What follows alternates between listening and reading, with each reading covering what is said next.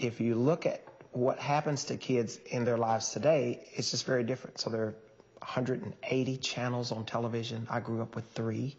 Uh, and so there are multiple stimuli. If you look at what kids do after school, they're, they're watching television, they're playing a CD, they probably have a Game Boy going, and uh, they're on the web, instant messaging with friends, all in the same space. Super multitasking. But that's the norm for kids today.